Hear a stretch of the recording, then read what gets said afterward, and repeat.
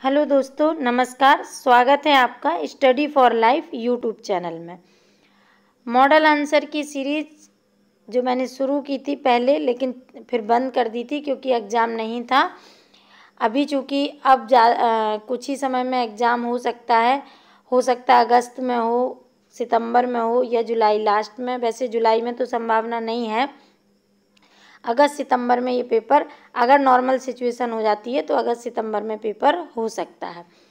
तो जीएस के model answer कुछ कुछ डालते रहेंगे। आपको सैटरडे और संडे को सुबह आठ बजे मॉडल आंसर मिलेंगे। बाकी दिन रेगुलर क्लास रहेगी। तो आइए, मैंने पटना कलम और मौर्य कला दो आपको पढ़ा दी हैं। आज मैं बात करूँगी पाल कला पर।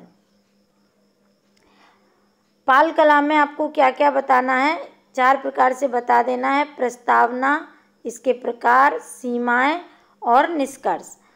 प्रस्तावना में आपको धीमन और बीतपाल का नाम दे देना है। ये आठ आठ से बारहवीं शताब्दी में प्रचलित थी। ये बता देना है। प्रकार इसके हैं। स्थापत्य, मूर्तिकला मृदभांड कला चित्रकला और भित्ति चित्र। सीमाएँ इसकी हैं कि सीमित कलाकार हैं, प्रस्तर कला का प्रयोग कम है, चित्रकला का प्रयोग भी कम दिखता है। उसके बाद निष्कर्ष दे देंगे, सुझाव देते हुए। आइए देखते हैं भूमिका कैसे लिखनी है। बिहार प्रदेश की कला परंपरा अत्यंत समृद्धशाली रही है और इस कला परंपरा को पाल युग में अत्यधिक मजबूती मिली, जिसका प्रमाण आज भी विभिन्न स्थानों पर उपलब्ध है। पाल शासकों व तत्कालीन संतों द्वारा पाल कला का विकास आठवीं से बारहवीं सदी के मध्य सफलतापूर्वक किया गया। इसके अवशेष बिहार और बंगाल के एक बड़े क्षेत्र से प्राप्त हुए हैं। प्रसिद्ध कलाकार धीमन और बीतपाल ने चित्रकला, मूर्तिकला और धातुओं को ढालने में अपनी दक्षता के कारण प्रभुत यश प्राप्त कर लिया था। ये दोनों पिता पुत्र धर्मपाल व देवपाल के समकालीन थे। इस काल में विकसित हुई विभिन्न कलाओं तथा उनकी विशेषताओं को निम्नलिखित शीर्षकों के अधीन किया जा सकता है। यहाँ तक आप भूमिका लिखिएगा और ये वाला अगले यहाँ से लिखिएगा। स्थापत्य कला, मूर्ति कला मृदभांड कला, चित्रकला, भित्ति चित्र। अगले पैराग्राफ में हमने आपको कई बार बताया है, जीएस में हेडिंग डालने की कोशिश ना करें। सब चीज़ पैराग्राफ में बताएँ। स्थापत्य कला के क्षेत्र में पाल काल में अनेक महाविहार स्तूप चैत्य मंदिर एवं दुर्गों का निर्माण हुआ। इस काल की स्थापत्य कला पर बौद्ध एवं वैष्णव दोनों धर्मों का स्पष्ट प्रभाव दिखाई देता है। विभिन्न महाविहारों में उदंतपुरी, नालंदा, विक्रमशिला एवं सोमपुरी विहारों की स्थापना का श्रेय पाल शासक धर्मपाल व देवपाल की कला प्रवृत्ति को जाता है। नालंदा में विभिन्न युगों में बने मंदिर और स्तूप, विहार आदि में पाल शासकों का प्रमुख योगदान रहा। इस काल में बौद्ध भिक्षुओं के लिए बने आवास एक निश्चित योजना को प्रदर्शित करते हैं। विक्रमशिला महाविहार के अवशेष पाल युगीन स्थापत्य कला की विशिष्टता को प्रदर्शित करता है। यहाँ एक मंदिर और स्तूप मिले हैं। इसके अतिरिक्त कहलगांव का गुफा मंदिर तथा गया स्थित विष्णुपद मंदिर का अर्धमंडप, सूरजगढ़ा, जयमंगल इत्यादि पाल कला के ज्वलंत एवं प्रत्यक्ष उदाहरण हैं। पाल युग में मूर्ति कला का अत्यधिक विकास हुआ। पहले पैराग्राफ में क्या था? स्थापत इसमें क्या है? मूर्ति कला विशेषकर पत्थर व कांसे की प्रतिमाएँ काफ़ी निर्मित होने लगी। कांस्य प्रतिमाओं के निर्माण की शैली का जनक धीमन और उसके पुत्र बीतपाल को माना जाता है।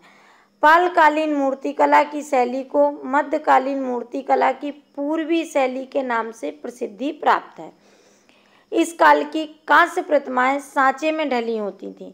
ऐसी मूर्ति नालंदा एवं कुकरिहार गया से प्राप्त हुई हैं। इस काल की अधिकांश मूर्तियाँ बौद्ध धर्म से प्रभावित हैं। हिंदू धर्म के सभी देवी देवताओं का निर्माण हुआ, जैसे विष्णु, बलराम, सूर्य एवं गणेश की मूर्तियाँ। पालकालीन प्रस्तर प्रतिमाएँ भी कलात्मक सुंदरता का उत्तम उदाहरण प्रस्तुत करती हैं। ये मूर्तियाँ काले बेसाल्ट पत्थर की बनी हैं जो संथाल परगना एवं मुंगेर से प्राप्त की गई हैं। सामान्यतः इन मूर्तियों में केवल शरीर के सामने वाले भाग को दिखाया गया। इन मूर्तियों में अलंकार की प्रधानता है। मुख्यतः देवी देवताओं का ही चित्रण किया गया है। सभी मूर्तियाँ कलाकार की शिल्पगत परिपक्वता को दर्शाती हैं। पाल काल में अगला है मृदभांड पर। पाल काल में मृदभांड के सुंदर व कलात्मक रूपों का विकास हुआ है। इस कला का विकास सजावट हेतु हुआ और ऐसी मूर्तियों, दी, मूर्तियाँ दीवारों पर बनाई जाती हैं, जिसमें धार्मिक एवं सामान्य जीवन के दृश्य देखे जा सकते हैं। मृदभांडों पर धार्मिक प्रभाव भी दृष्टिगोचर होता है। कलात्मक सुंदरता का उत्कृष्ट उदाहरण एक तख्ती पर एक स्त्री की बैठी हुई मुद्रा को दर्शाया गया है। एक हाथ में आईना लिए वह अपने रूप को निहार रही है।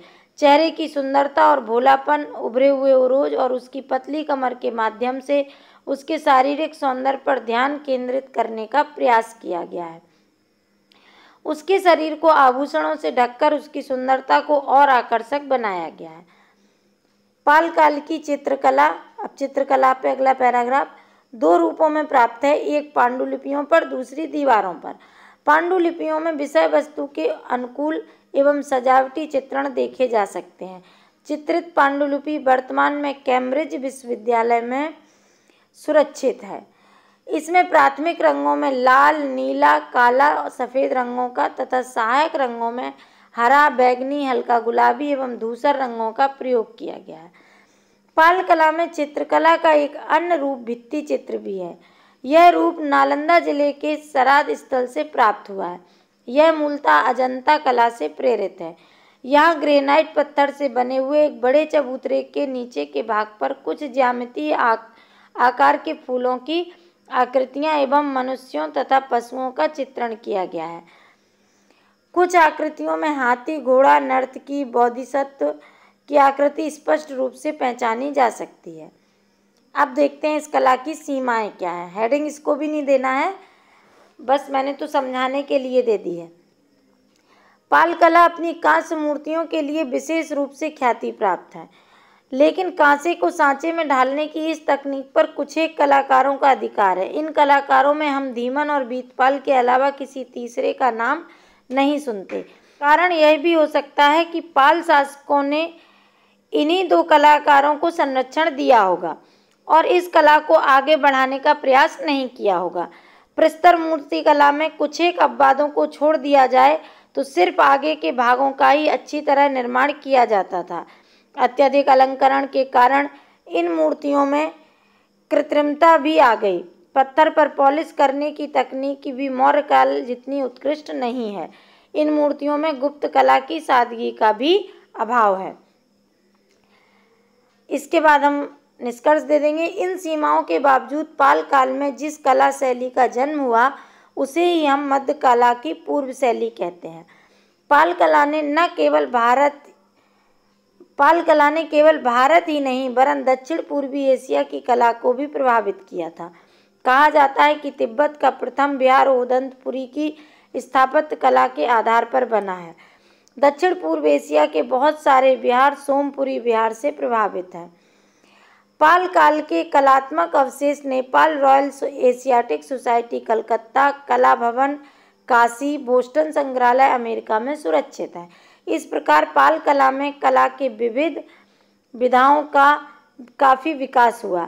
सांस्कृतिक संगम और धार्मिक सहिष्णुता की दृष्टि से भी पाल कला अपना महत्वपूर्ण पाल कला का अपना महत्वपूर्ण स्थान है। तो ये आपकी पाल कला का मॉडल आंसर था। आप इस पर अपना आंसर लिख के देख सकते हैं या इसे पढ़कर, इसे भी, इस वीडियो को देखकर आप अपना नोट्स तैयार करके आंसर लिख सकते हैं या इसे सुनकर, चीज़ों को समझकर कैसे आंसर लिखना है, आप अपना आंसर लिख सकते हैं। आशा है आपको ये समझ में आएगा। अगर समझ में आए तो इसे लाइक करें शेयर करें और हमारे चैनल को सब्सक्राइब करें। धन्यवाद।